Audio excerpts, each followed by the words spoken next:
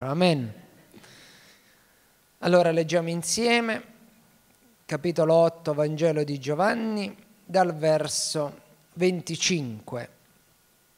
Allora essi gli dissero, chi sei tu? E Gesù disse loro, proprio quello che vi dico. Io a vostro riguardo molte cose da dire e da giudicare ma colui che mi ha mandato è verace e le cose che ho udito da lui le dico al mondo. Essi non capirono che parlava loro del Padre. Quindi Gesù disse loro, quando avrete innalzato il figlio dell'uomo, allora conoscerete che io sono e che non faccio nulla da me stesso ma dico queste cose come il Padre mi ha insegnato. E colui che mi ha mandato è con me. Il Padre non mi ha lasciato solo, perché faccio continuamente le cose che gli piacciono. Mentre egli diceva queste cose, molti credettero in lui. Gesù disse allora ai giudei che avevano creduto in lui, se dimorate nella mia parola, siete veramente miei discepoli e conoscerete la verità e la verità vi farà liberi. E ci fermiamo qui. E mi piace far riecheggiare l'ultima parte del testo poc'anzi letto. Conoscerete la verità e la verità vi farà liberi non tutti coloro che hanno avuto la possibilità di ascoltare Gesù insegnare, predicare, ammaestrare, vedere ancora compiere miracoli e prodigi, non tutti hanno creduto in Lui. Ma il Vangelo ci dice molti credettero in Lui. Non tutti riescono a confidare in Dio, non tutti riescono a credere in Dio, ma molti sì. Ed io voglio ringraziare il Signore insieme a voi perché noi facciamo parte di quei molti, di quei molti che hanno creduto in Lui, di quei molti ai quali Egli ha detto se dimorate nella mia parola, siete veramente miei discepoli. A volte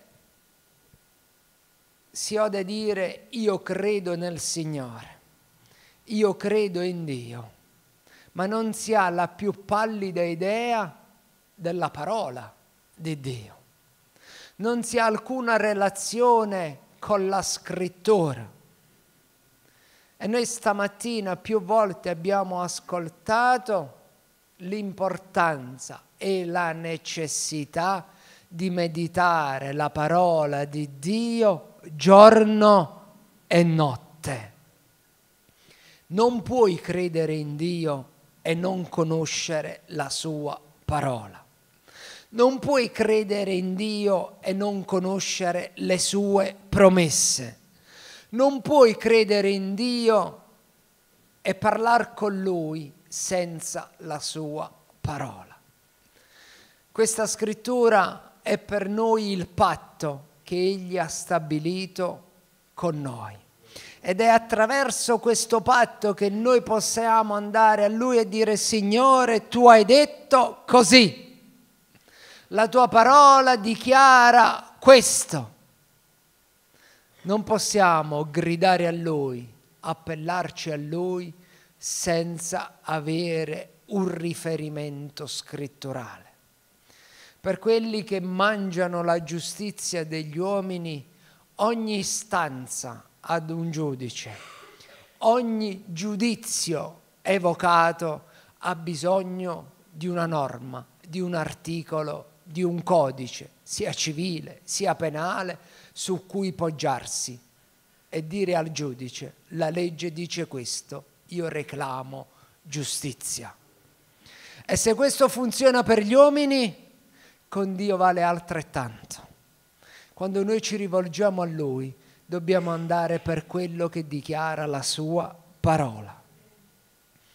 E molti ascoltavano Gesù e a un certo punto si pongono la domanda, chi sei? Chi sei? Palesati, manifestati.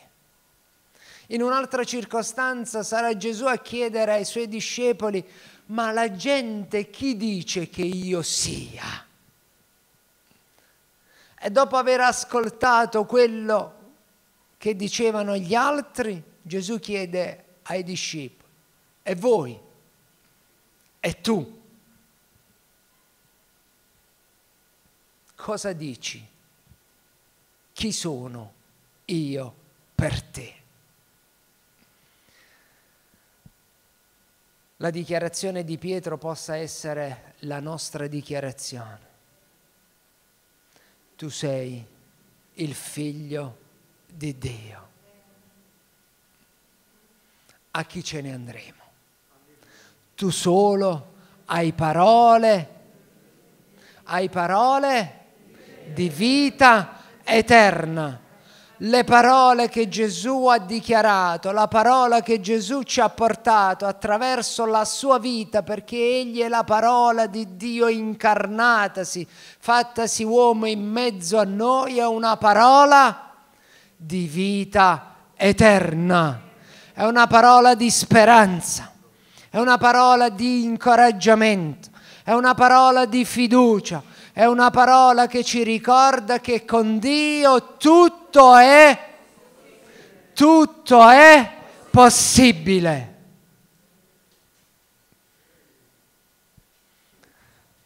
Gesù non risponde alla domanda.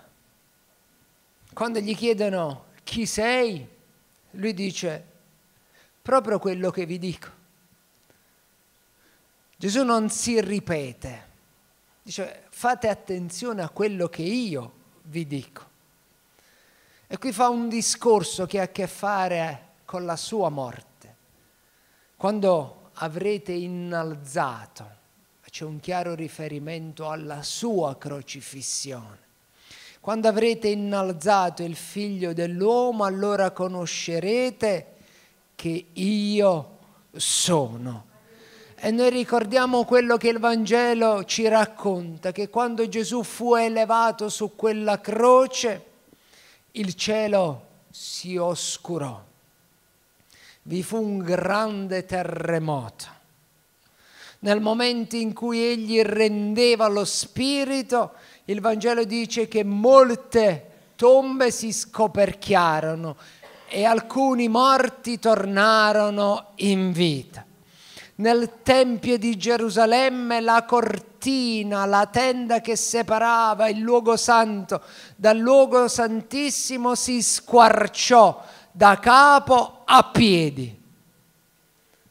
Nel momento in cui il figlio dell'uomo sarà innalzato, voi conoscerete che io sono.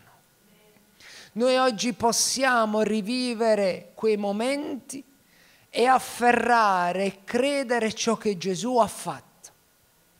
Attraverso il sacrificio della sua vita ha squarciato la cortina che ci separava da Dio.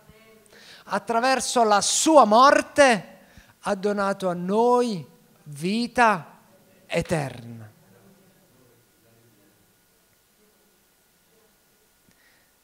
E noi abbiamo creduto in Lui.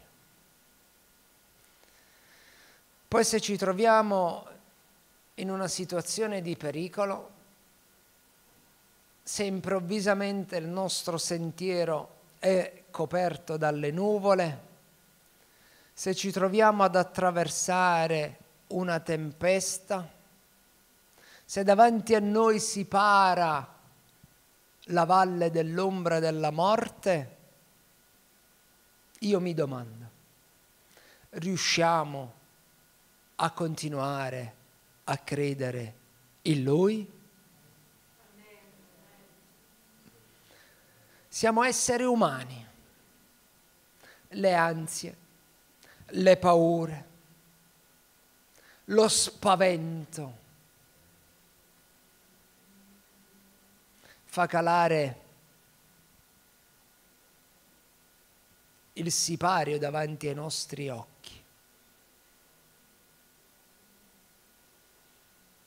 Ma Gesù ha detto,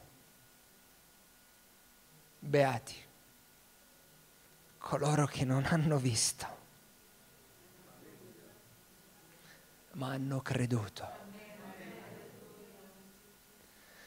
Si vengono situazioni in cui è meglio chiudere gli occhi, è meglio chiudere il sipario. Sarà anche per questo che noi consigliamo quando preghiamo di chiudere gli occhi, di separarci da tutti i condizionamenti esterni è lasciare che la fede illumini il nostro cuore. È lasciare che lo Spirito di Dio accenda la lampada del nostro cuore. E possiamo sentire quella fiamma che arde nel profondo delle nostre ossa e ci assicura e ci ricorda che Egli è con noi.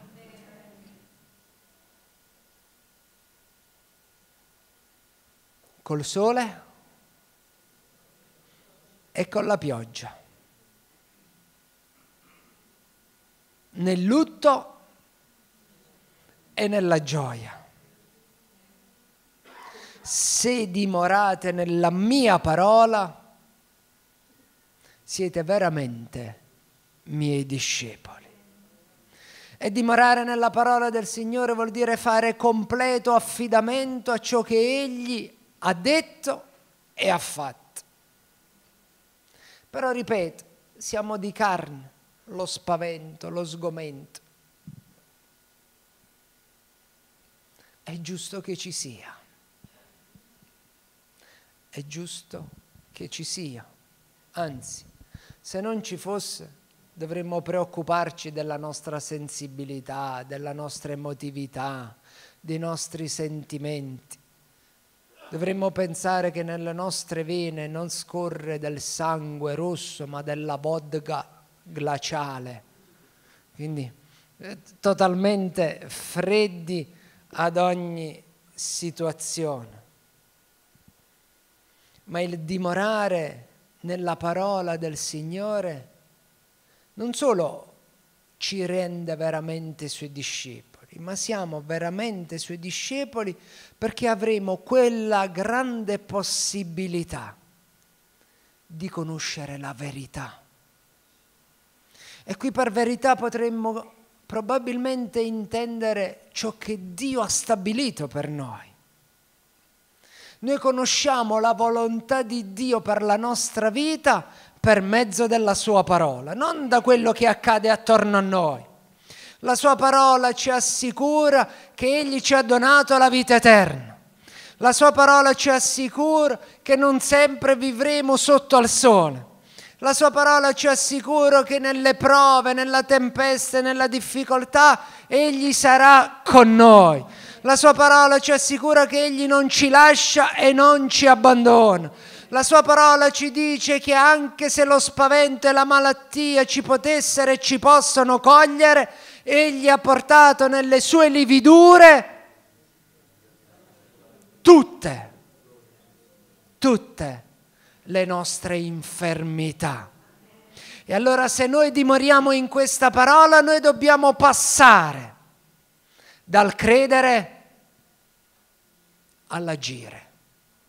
Perché c'è una fede che crede e poi c'è una fede che agisce quando Davide è andato nel campo di battaglia dove Sauli, i suoi fratelli e l'intero esercito erano assaliti dalla paura, è andato credendo che Dio era con lui. È andato lì anche arrabbiato. Come si permette? Questo filisteo, questo incirconciso, dire uno che non appartiene al popolo di Dio, come si permette di offendere l'Iddio di Israele? Ed io credo che noi nelle nostre difficoltà ci dobbiamo arrabbiare. ci dobbiamo anche incavolare, dire non è possibile, non accetto che il diavolo, che le difficoltà, che una malattia, che un problema possa divorarmi. E se siamo arrabbiati, io credo che il diavolo, che va attorno come un leone ruggente, scapperà davanti alla nostra rabbia. Perché noi siamo più forti di lui in virtù di colui che è più che vincitore. E noi siamo più che vincitori in virtù di ciò che il Cristo ha compiuto. E in questo non vi voglio trasferire delle convinzioni mentali. Voglio che noi impariamo ad agire per fede. Il quadro è questo. La battaglia è in corsa. Il nemico sembra più grande di noi. Davanti a Davide, Goliat era tre volte a lui. Ma noi non misuriamo i problemi per la loro altezza. Perché se noi abbiamo dei grandi problemi, abbiamo un Dio che è molto, molto, molto più grande dei nostri problemi. E Davide andò a, a quel problema con dei sassolini. E i nostri sassolini, le nostre preghiere, le nostre intercessioni, le nostre proclamazioni nella freccia di Dio diventano armi potenti e abbattono i nostri nemici. Conoscerete la verità e la verità vi farà liberi. La nostra fede ci spinge in questa direzione e quando conosciamo la verità, la volontà di Dio, saremo liberi. Quando abbiamo afferrato ciò che Dio vuole da noi, saremo liberi dalle nostre paure, dalle nostre ansietà, saremo liberi dalle nostre preoccupazioni. È importante essere liberi per esercitare la fede. Per tirare le pietre bisogna essere liberi. E il contrario di libero, sapete qual è? È schiavo nel senso di legato. Provate a, tenere le mani, i piedi legati, non si può né camminare né tirare alcuna pietra. Conoscerete la verità e la verità vi farà liberi. Liberi di proclamare la vittoria nel nome del Signore. Liberi di mettere delle belle scarpe pesanti e far sentire tutto il tacco sulla bocca, sulla testa del diavolo e ricordargli che Dio è con noi. Poi le battaglie su battaglie in battaglia non si va ballando e danzando. Sì o no?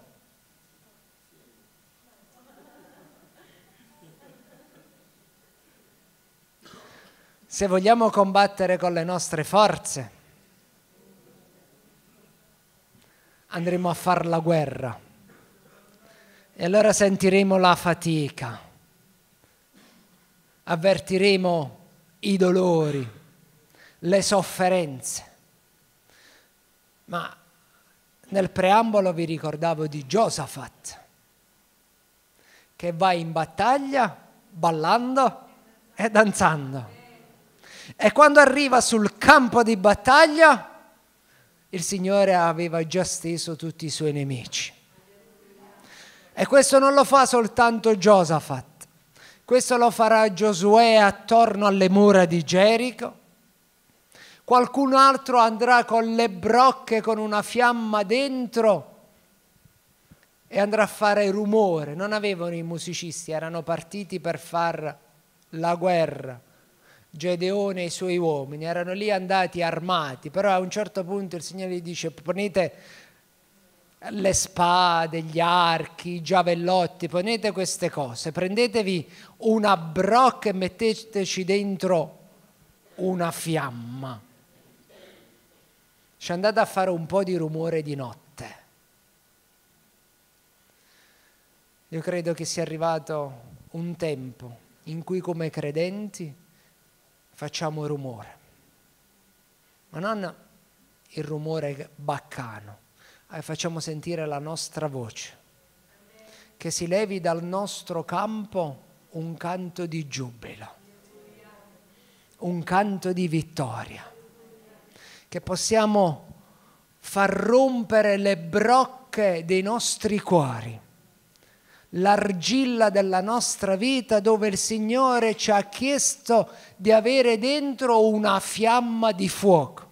E quella fiamma il Signore l'ha messa nei nostri cuori ed è lo Spirito Santo, perché noi siamo stati suggellati dallo Spirito Santo. E se questa mattina siamo qui è perché il fuoco di Dio arde dentro di noi, perché Egli ci ha segnati con il suo fuoco, però è necessario andare in battaglia e rompere la nostra brocca.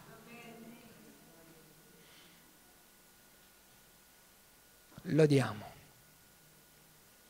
giubiliamo, perché il Signore ha già vinto per noi. Poi come vorrà manifestare la vittoria, Lui lo sa. Io al presente posso avere un desiderio, posso avere una visione, posso avere un pensiero, ma davanti alla mia visione mi affido alla sua volontà, perché i suoi pensieri sono molto più alti dei miei i miei forse riescono ad arrivare a questo soffitto, ma i suoi sono molto, molto al di sopra. I miei occhi riescono ad arrivare a guardare alla parete, ma lo sguardo del Signore vede oltre le pareti, vede oltre questo paese. Noi siamo suoi discepoli. Dimoriamo nella sua parola perché la sua verità ci ha fatto già liberi e noi non permetteremo a niente e nessuno di riportarci nella schiavitù della paura, dell'ansietà, del peccato, dell'allontanamento da Dio, ma andiamo in battaglia e proclamiamo la vittoria nel nome di Gesù. Amen. Amen.